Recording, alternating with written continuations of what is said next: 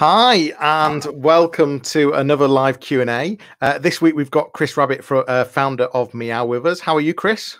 I'm good, thanks. Uh, thanks for having me on, Johnny. It's uh, it's a real pleasure to be here. Thanks for joining us. Uh, we're now live streaming on Facebook uh, in the Facebook group, the Yorkshire Business Club. we're also live streaming on LinkedIn. if you're watching there, hello, and on YouTube as well.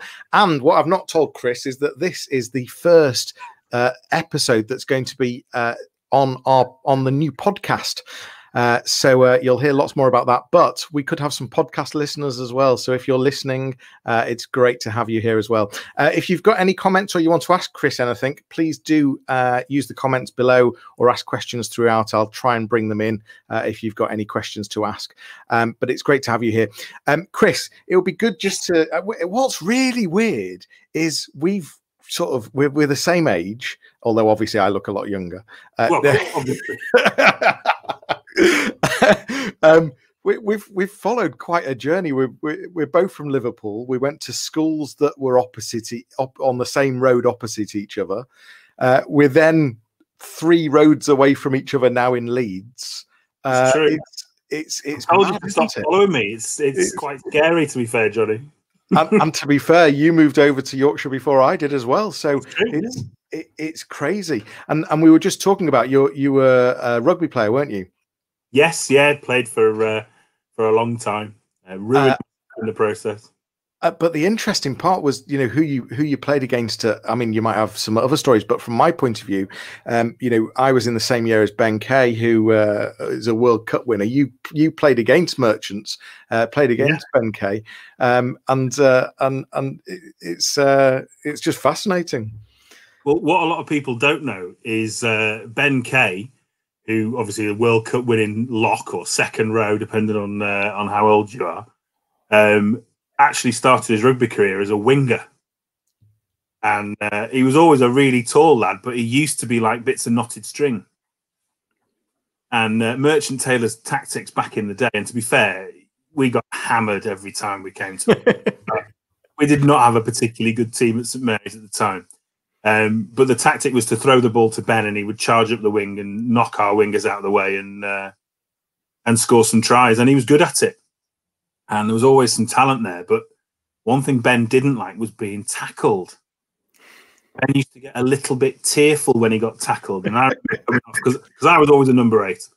I remember coming off the back of some scrums and working the angle and mincing Ben Kay to touch on a couple of occasions, as much as you do mince people when you're 12 years old. But I remember taking him into touch quite hard on a couple of occasions and, and standing up again and you know offer the hand and a few little tears coming. He didn't like it at all. You, probably just hyper competitive rather than getting a bit emotional, but uh, it was fun nonetheless and good to look back on. So it, it's great to look back. I used to play with uh, Paul Dalglish as well, Kenny's son. Yeah, yeah. In your year as well, wasn't it? Well, well, I was I was used to Kenny coming to our sports day. You see, that's just too much for any. Are you a Liverpool fan as well? Yeah. too much. I, I just get all. I just get overwhelmed if he turned up soon. it was it, no, it was it was great. It was really good. Um, so um, we are going to get on to uh, we. I, am going to talk uh, uh, about Meeow. I mean, unbelievable what you've uh, uh, what's what's been created over lockdown. Um, I, I want to talk about that, and you're uh, I think in the middle of a launch of a, a crowd fundraiser on there. Um, you've got. A very strong sales background want to get into that as well um, and uh, and want to understand sort of the, the journey you know how things happened. You you you, you were telling me earlier that you uh, very early on were selling uh, beer to working men's social clubs. Is that is is that where the sales started then or was it prior god no. No god sales for me started back when i was uh, seven years old i think. Um, and my father used to have a, a, footwear business where we'd import and retail, and we used to work the, the the markets in and around Liverpool and North Wales. And I started my sales career selling flip flops at fifty pence a pair at the front of Dad's market store, and that's where I, you know, it, it all started for me. I suppose I don't think I ever grew up wanting to be a salesman. But it was always something I was really good at. So uh, yeah, started back then. But yeah, I did. I, I sold beer to working men's clubs, and if you've ever watched Phoenix Nights, I can tell you right now that that is not a fictional television series. It is a documentary. you think you see some weird stuff in that program? I guarantee I've seen weirder.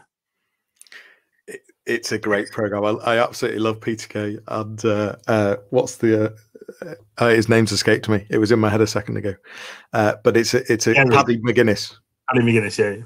Yeah, it's a great program. Uh, um, and so so the so you were selling to how did and and then talk to me about how things then progressed um what what was the what was the sort of start of your career what were you doing uh, from university i was uh, please don't throw tomatoes either literally at the screen or in the chat uh, i started out as a recruitment consultant i left university uh, really not knowing what i wanted to do because i'll be honest from being a child quite a small child, I was always fascinated with aeroplanes and, and aviation and all that. I wanted to be a fast jet pilot. It's as simple as that.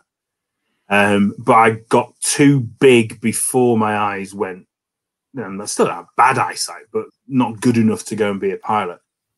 Uh, but I was too big even before that happened anyway. And they do it by the length of your thigh.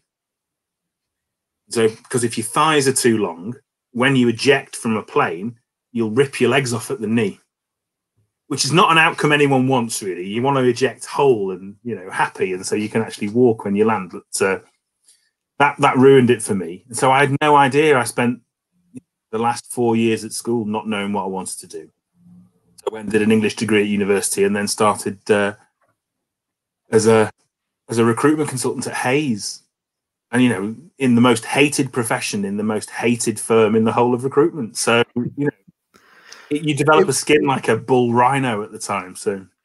I'm guessing that that was uh, in the boom years, though. Thinking of our oh, age, yeah. yeah. It was great. Don't get me wrong; it was just tailing off in terms of the industry had started to cannibalize itself fairly aggressively. There was uh, massive pressure on price, but we started, you know, sort of in the tail end of the golden era where you could charge properly for the service that you provided, and, and we all made a reasonable amount of money. It was uh, it was fun, and I'll be honest with you, the the training at Hays was absolutely outstanding. Um, you know, it was properly structured and invested in. They spent time doing it. It was great. You know, it was a, one of the best sort of setups that I've ever seen in terms of creating really, really good and tenacious salespeople. It was it was spot on, and there's loads and loads of lessons I learned there that uh, that I've taken all the way through my career, and so and I pass those on now. Well, I'm wondering if one of those would have been sales. So I'm I'm I'm fairly certain that part of being a recruitment consultant is is a sales part of the role. Or you, you disagree? No, oh, no, you, no. you agree? Yeah, it's not part of the role. It, it is the role because what with recruitment, it's it is one of the hardest jobs in the whole world and I completely get why people don't like recruiters. And it's not because of the recruiters, it's because of the way that they are made to behave by the industry that they're in. And that's a whole podcast on its own, and I won't get into it now. But the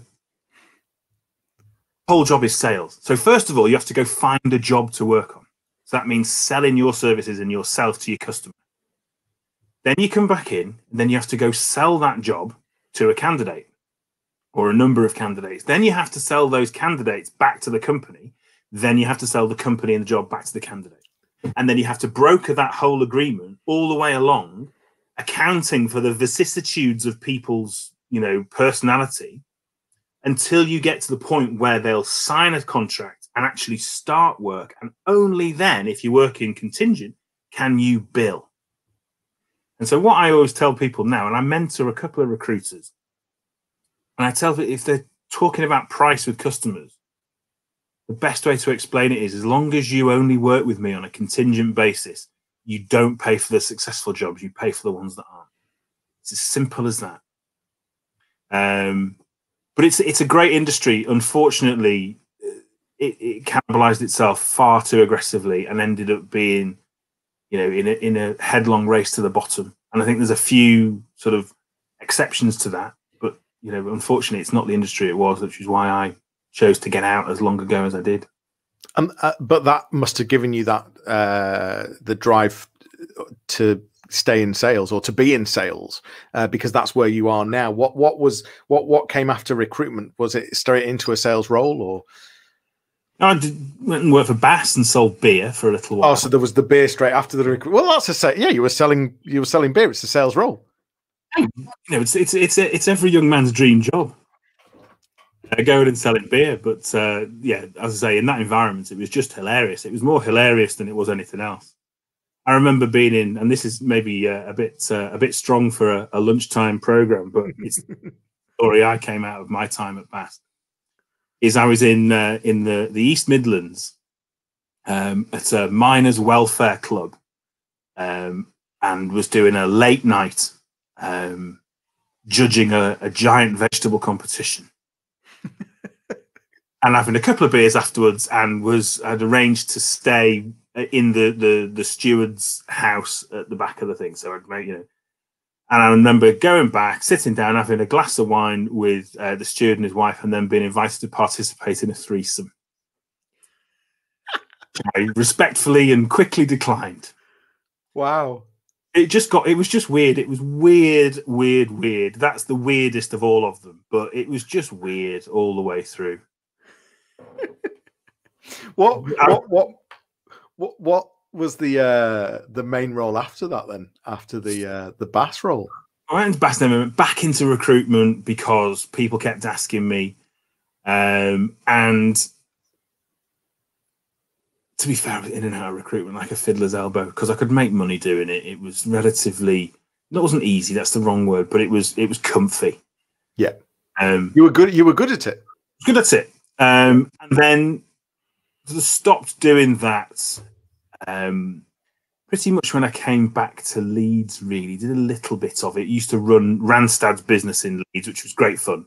And actually, out of a lot of recruitment businesses, I have an enormous amount of respect for Randstad. They are doing it in a slightly different way, uh, which is good and much more focus on quality and experience and, and all the rest of it than necessarily all out, balls out sales.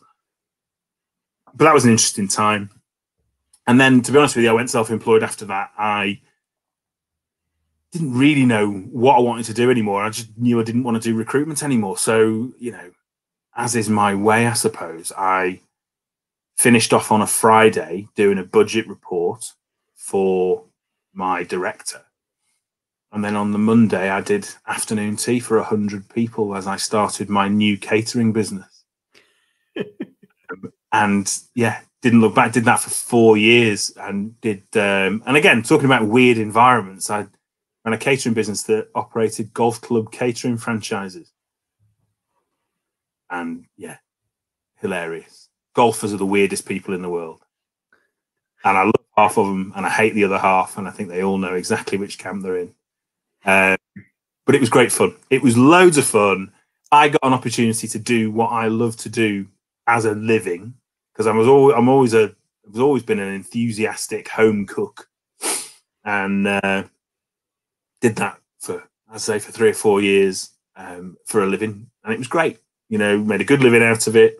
Enjoyed myself. It was busy and hard, and you know, very involving, but it was it was great fun. And there's another whole raft of stories from that experience that uh, that I could bore you all with that I won't. Um, and then I thought, well, okay, I've run a catering business for four years. I decided to close that because it wasn't ever going to be what I wanted it to be. I set it up to be, you know, in the way that I do, set it up to be this multi-franchise uh, operation with maybe five or six golf clubs or seven golf clubs in it. Um, and actually, it worked out that you can only really do one. I had three go at once, and uh, it, it was impossible. Your return on your your risk and the money that you put in is not enough if you're not there yourself. Um, so I closed that and thought, well, okay, I've been a chef for four years. I'll uh, I'll go and learn to be a chef. So I went and worked in a two rosette restaurant, um, the Crown at Roecliffe, for a year, um, and I had a great time doing that. And actually learned how to be a chef there. I could cook before, but I learned how to be a chef there. It was a really really interesting year. So do you, so do you have you has that carried on and do you do much cooking at home now? I do most of the cooking at home, um, although my wife is a really good cook as well, which is probably why I can't lose weight. Um, but no, we we it's it's one thing that's really it's really important to me. I'll be honest with you, and and I am quite um, evangelical and quite forthright about my opinions about food. Um, I think we all take it far too for granted. Take for granted the act of preparing food, and I think um, we also take for granted the importance of sharing food and actually it being an experience for people. Um, I am never happier when I've got people sat around my table and I'm feeding them tasty stuff because that, that's just my happy place. Um, Simon, my business partner, we have a working breakfast every Saturday. And that means him coming to me because, frankly, I want to enjoy my breakfast. And so Simon turns up every Saturday and gets fed to the, you know, gets fed to the gunnels, uh, whether it be, uh, you know, a bacon sandwich or a, a handmade, a homemade cinnamon roll or whatever else. And no, I'm not telling you where I live. what's the what's well i'm interested you know when you've got a, a, dinner party or people around the table and you're feeding them what's the what is the thing that that what's the pleasure? What's the the thing that you really enjoy? What's what what is it about it that you like uh that that people like what you're giving them? I well i don't know. I know that well i, I like that people enjoy it. Um there's a bit of me that's a tart and likes to hear people go, "Ooh, that's lovely." It, it, aren't you clever? You know, because let's be honest, most people are shit cooks. There you go. I've said it. Most people can keep themselves alive, but most people are not particularly good cooks. And it's nice when you can when you can introduce people if they've not done it before. The, the stuff that you can do, you know, it's like, yeah, come try this, try this, try that and I like messing about with, you know, experimenting with stuff and feeding people stuff they've not had before. But at the same time, there's just as much pleasure in sitting down for a bowl of stew and a bit of mashed potato. I, I, I just think I just think it fits well into uh, some of the conversation uh, we've had previously. Um, but all but but what excites you in in some of the roles that you do is being able to help a business uh, sell um, and being able to being able to to help teams uh, find better ways of working together to be able to sell their products or services. And I'm wondering um, if there's uh, if there's some sort of mirroring there on on uh, on just how you were describing food. It, it certainly popped into my mind. Um, and, and but let's be clear that is that is what you enjoy doing um, from a, a, business point of view. You're you know you're actively seeking companies that uh, we'll we'll get onto Meeow in a moment. But yeah. your other hat um, is actively seeking companies that that are uh, that are looking to to sell more. What what are the what describe the, the typical clients or the typical problems or what what are the typical things that you fix?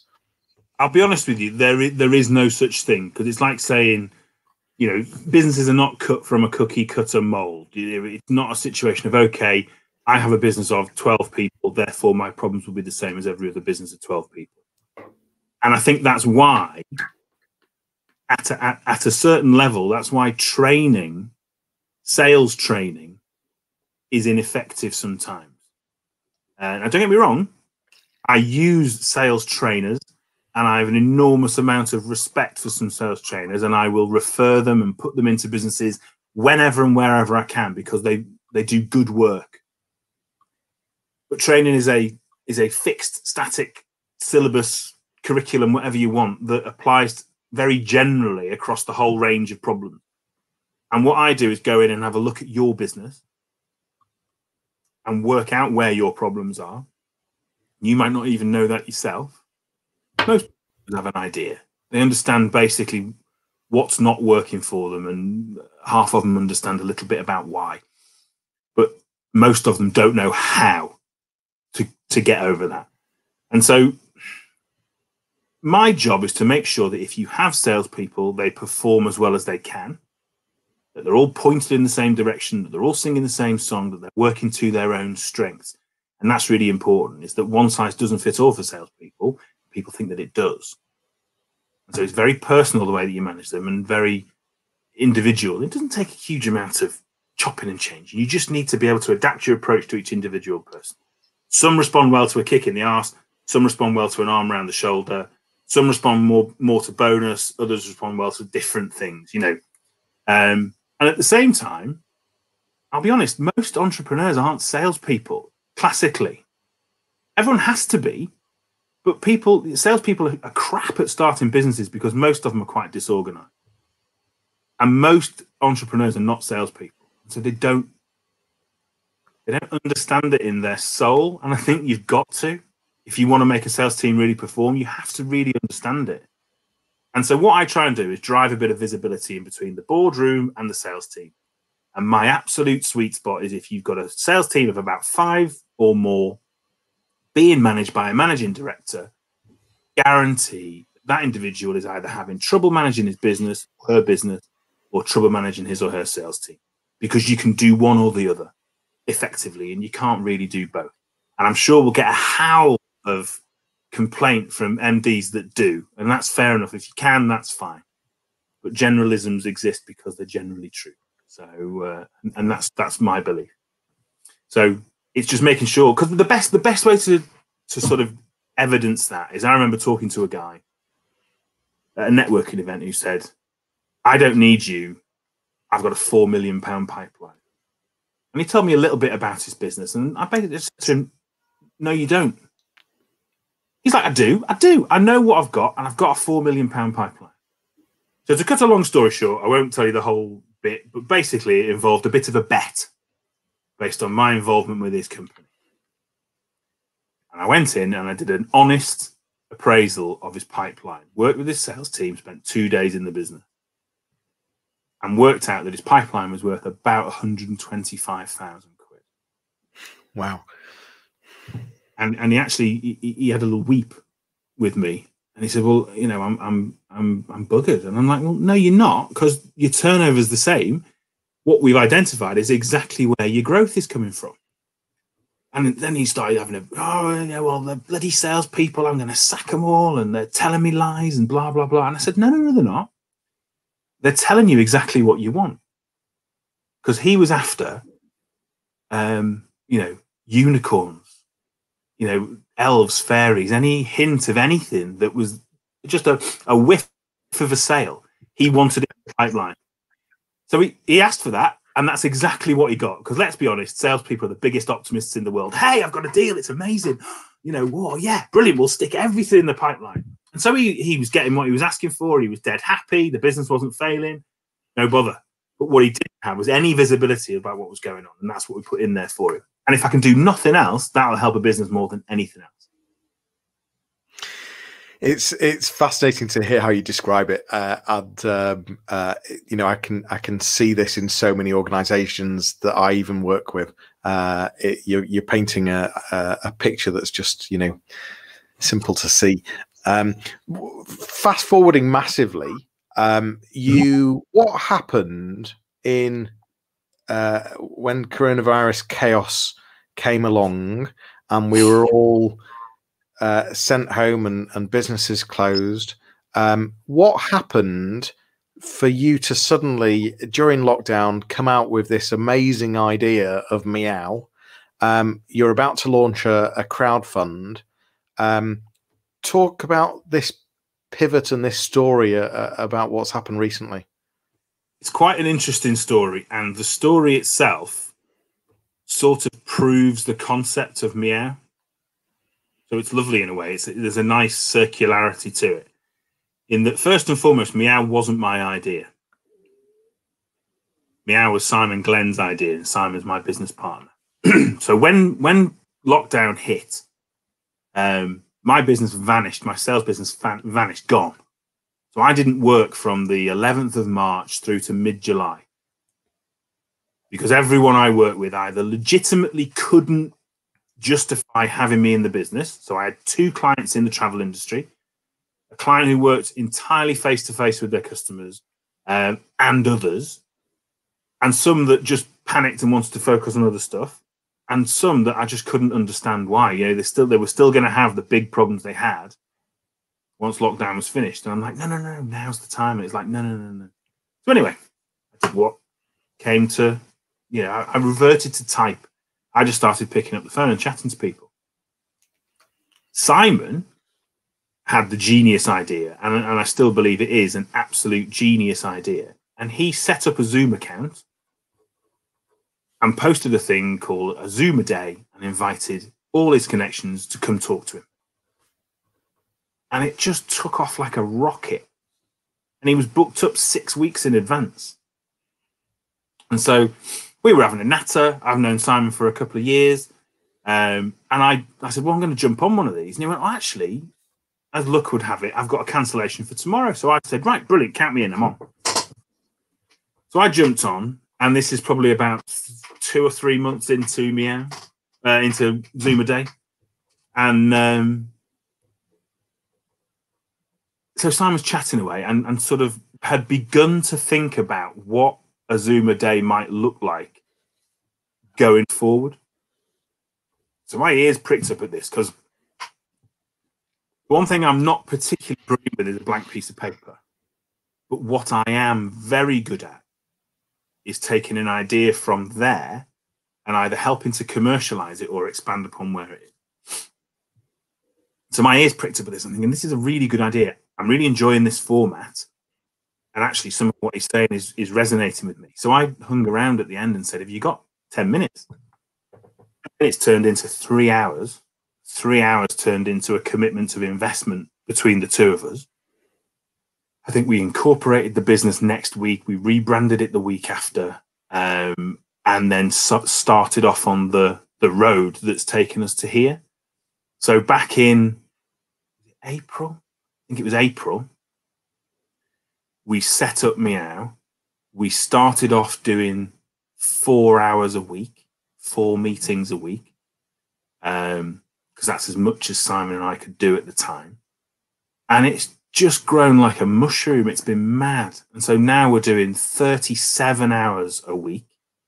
We've got 19 um, volunteer hosts who are amazing people who uh, get what this is all about, are real believers in the concept, and just love the idea of actually being a part of it. You know, we don't pay them because we can't uh, and they're really helping us drive along. And so, you know, Simon and I make sure we look after them as much as we can. Um, and yeah, and then it got to the point where we thought, right, okay, we need to do something with this over and above what we've got. So we, back in May, we commissioned a developer to start looking at a bespoke platform for us to host Meeow on. Because frankly, the platform we've got now is great, but it's a real Heath Robinson combo of our website, of Calendly and Zoom, and really it's like a it's like an eggshell. You know, it's it covers everything, but there's no depth to it. And when the new platform comes in, which won't be long now, probably start of November, will soft launch. Um, it's infinite depth. So if you want to network at 10 o'clock on a Monday, that will never be closed to you. You will always be able to get the time that you want, whenever you want it, because the system will work out. You know, if there's 10,000 people want to network at that time, it'll split you into two and a half thousand or person meetings. But you'll only ever know that you're in one meeting with one person. So there's never that anonymity, that feeling of being lost in a massive room. You're always very intimate, very human, connected with the people in the room with you. And for me, we keep getting back about it. Is people like we've got a lady in mid Wales um, who just comes on for the connection. She doesn't actually expect to win any business from it. She just loves it because she gets to talk to people properly and it sets her up for her day. And actually, to be fair, she's won a load of business out of it. That does um, helps businesses get into the supermarkets. And of course, everyone knows someone with a jam brand or imports wine or you know whatever and she's picked up three or four real genuine prospects from it just from turning up for a natter. And that for me is it's what it's all about for me. It's the power of random. Turn up, show up, bring your authentic self, give a little bit, share a little bit.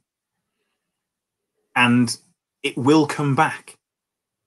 You know, it, the, the the whole networking circle is proven. You you show up and give and help and be present and all the rest of it, and it will come back to you. And and that's being proved time and time and time again. You know, there's some really good connections being made, and and I love it. And the amount of positive feedback I'm getting at the moment is it's it's it's awe inspiring. I'm I'm I'm blown away by the reaction to it. We never thought it would go this fast, and it's just it's phenomenal. But it's the thing is, we both love it because it is the the distillation of everything we we really feel about networking. In that it's a human connection, it's a, it's a personal thing. It's something that needs to have time taken over it. Um, and I think we've we've hit on a formula that works. I'm I'm just delighted absolutely delighted. You've you've also uh, uh, made inroads across the pond. You're starting to go yeah. global, uh, which you know I, I, guess the format that you've created is there's there's no there's no reason why you wouldn't. It's universal, and that that's the great and that we we set the parameters for the platform up with exactly that in mind. We we always believed it could be a global thing. Um, but we've you know let, us be honest we have a toehold in the american market at the moment. It's not you know we're not there you know banging people's doors down. We have a host doing a couple of meetings now but at the same time and this is interesting it's a slightly parallel piece of work we're doing with it is we've got quite a few corporate inquiries about meeow at the moment.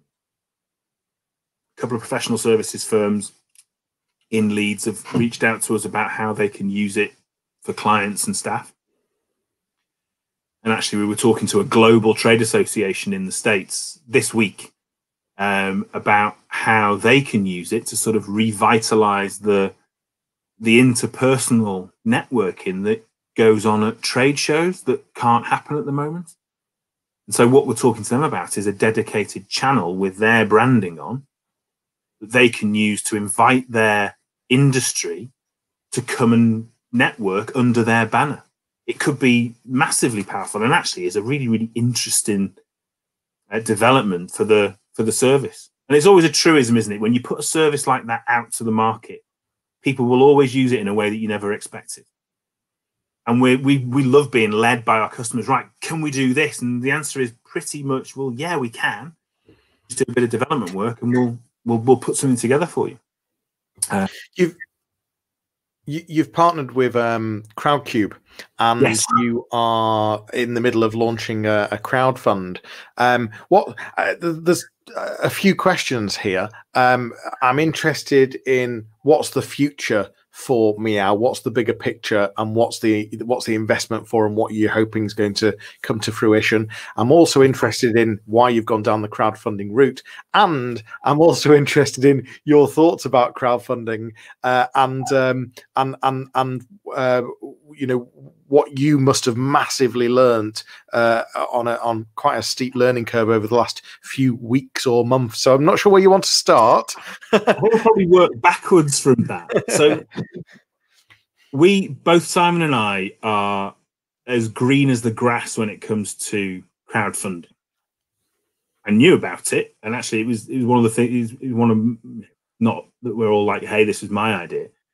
I floated it to Simon, and Simon knew even less about it than me, which wasn't a lot, you know, to be fair. Um, and so, because we were casting around for investment ideas, and the attitude of banks and VC houses at the moment is, or certainly from my perspective, is quite punitive towards businesses in a situation like we are.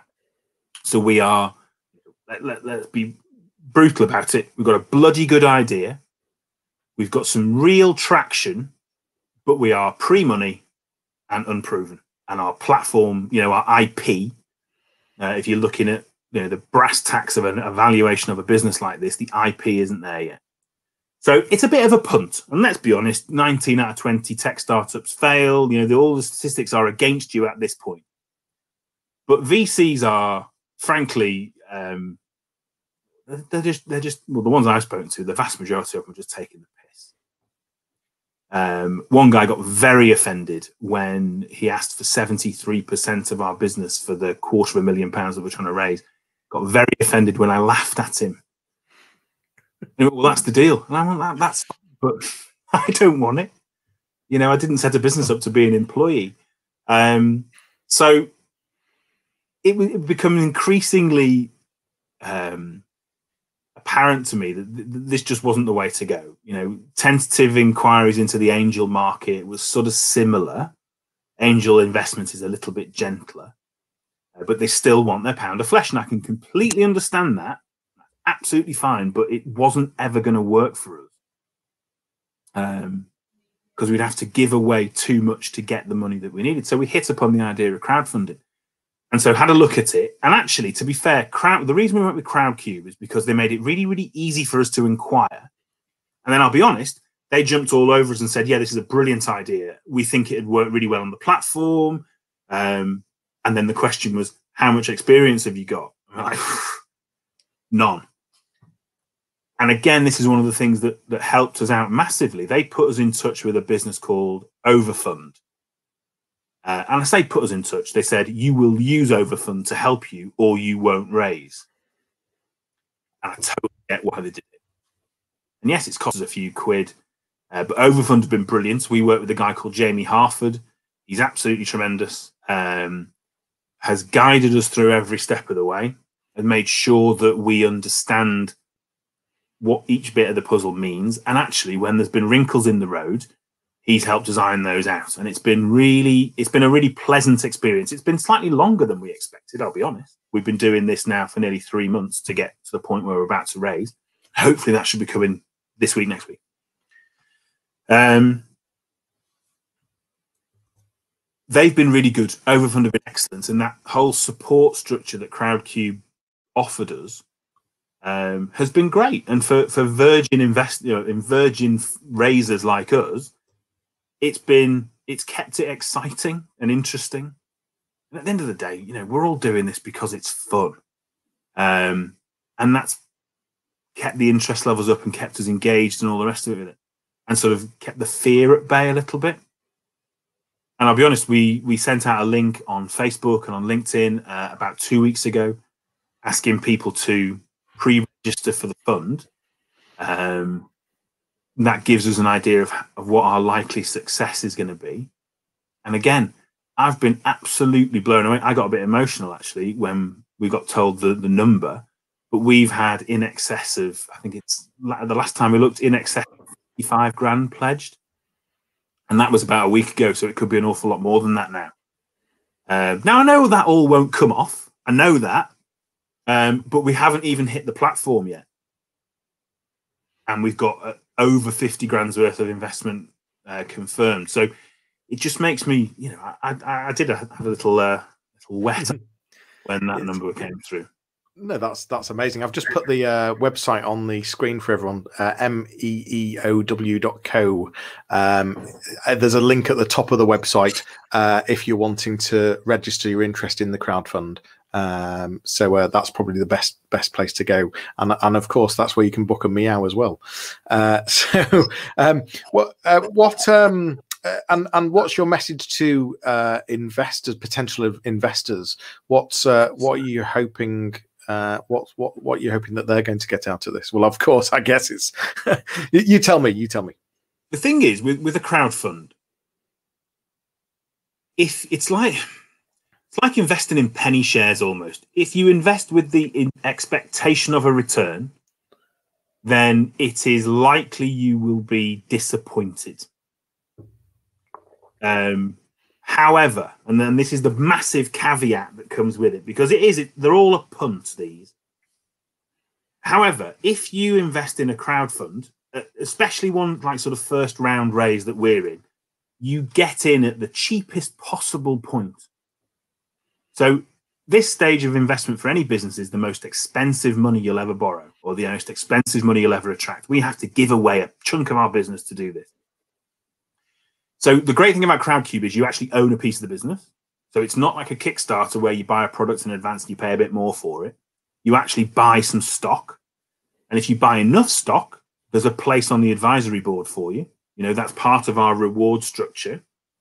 You know, you invest a certain amount of money, you can come quarterly and talk to us, ideas about the business, and we'll ask you, you know, it's a proper you know, advisory position. Um, so the potential for return is is huge, but the odds are slightly iffy. However, if you've got a tax bill of a certain size and you want to mitigate some of that and give yourself a chance to make more money, which is where a lot of these investors are, there's a scheme called SEIS, which is uh, Seed Corn or Small Enterprise Investment Scheme, and EIS, which is Enterprise Investment Scheme, where you get a portion of your investment back as tax relief. So SEIS is amazing; it's fifty percent, and the first hundred and fifty thousand of our investment is likely to be covered under SEIS. And then there's an eight, uh, hundred thousand pounds worth of EIS that's again subject to pre-assurance, but we're hopeful it'll be there. Um, which means it's like free bets at Paddy Power. You know, you've got to stay in for three years. There's some there's some terms and conditions. But if you've got a tax bill and you want to have a punt and you want to get involved in something fresh and interesting and whatever else, um, then it's a great way to go about it. And you can invest for 25 quid, I think is the the the share price for a single share. I think I think it's a, a great investment. I mean, you know, it's just when you when you get a feeling like you were talking about earlier. Um, there's a huge opportunity here, and there's a huge gap in the market for the product or service, uh, both really, that you're providing. So, I, I, yeah, I think I think get in early, and and there's a great opportunity. Uh, what would your message be for Johnny? I've, I've already I've already registered an interest. Um, I um, um, I was going to ask you about what your what your thoughts on crowdfunding. You know, if, if I was to consider crowdfunding, what would be the things that I should be thinking about? Thing is, there's there's there's a a real what go and have a look at crowdcube is the first thing i would say or go and have a look at there's another one called Seedrs um, they're slightly different but actually they've just this week merging so that's you know it's good news for people like us, good news for people who are looking to fund in future because it's a much bigger market that's going to be brought brought brought to bear. Um, but go and have a look because this month on Crowdcube you've had a um, a mixture of everything from uh, brand new fintech through to um, electric cars through to uh, Irish whiskey distillery. You know, there's there's there's everything on there of all sorts of different things, and there are opportunities to have some fairly outlandish bets on some really really niche stuff that, if it comes off, it'll make you a fortune. You know, but one might argue that the odds are slightly longer on investments like that working. Um, but there's a bit of something for everyone, and all I would say to anyone that's thinking of applying, and actually one of you know, there's there's, there's a business I've been involved with recently that have, have approached Crowdcube with some success, and hopefully we'll do that going forward. Is is go and talk to them about it. At the end of the day, they make their money through helping you raise. But the great thing about what I like about Crowdcube is they won't let anyone in. You've got to justify why you think it's good. They've got to they've got to see that, that your idea has merit, particularly in our case because we're pre-money. You've got to see that your idea has merit. You've got to see that there is a market there for it you know you've got to justify that, back that up. Um, so the process is quite rigorous. You know, you've got you've got to you've got to uh, sort of uh, justify your place at the table. But I would say that anybody that's got a business that needs to scale quickly and you don't like the idea of going to a VC or the, the terms of their investment is is stuff that's, that's unpalatable, give it a lash. You know, it's it's a it's a relatively um, easy in terms of the um, uh, the investment relationship between you and your investors. Uh, it's quite straightforward, um, and you know, it, it, it's a different way. It. it depends on what what works for you. At the end of the day, I can't sit here and recommend either way. All I can say is we've had a good experience and and it's been uh, and hopefully it's going to be really successful when it does go live. So. Uh, and I think there's some great things coming from Meeow from some of the uh, things I've been hearing bubbling away with regard to some of the ideas you've got and how you're going to uh, structure to make sure the right people are in the right rooms and and and everyone gets what they want out of it. Uh, from what I uh, from what I can understand, there's some really clever ideas being put into it as well. Um, I, I, don't know if there's anything you want to add. There. I'm not I'm not sure how much is public or how much is. Yeah, yeah. Um, our develop. I'll be honest with you. Our developers are absolutely amazing. Uh, and thanks very much to you know to Phil Story at Glow for recommending them. These are the same guys that made Glow, business called Decimal Cloud over in Bolton. They're just tremendous, innovative, sensible. You know, very commercial. They've been brilliant with us. Um, and actually, what they've put together is an extremely clever platform with some fabulous commercials behind it in terms of cost of use and all the rest of it. So actually, IP itself is really valuable, I think, um, particularly as we move into this sort of video age. Um, and yeah, as far as the thing is, we're set up, and it's, this is this is a point really worth stressing. We are set up for no other purpose than to make the experience of networking as good as possible. And that's it. We're not set up to drive loads of business. We're not set up to increase your referral rate. That that'll just happen, and it's been proven to just happen as a result of you turning up and bringing your best self.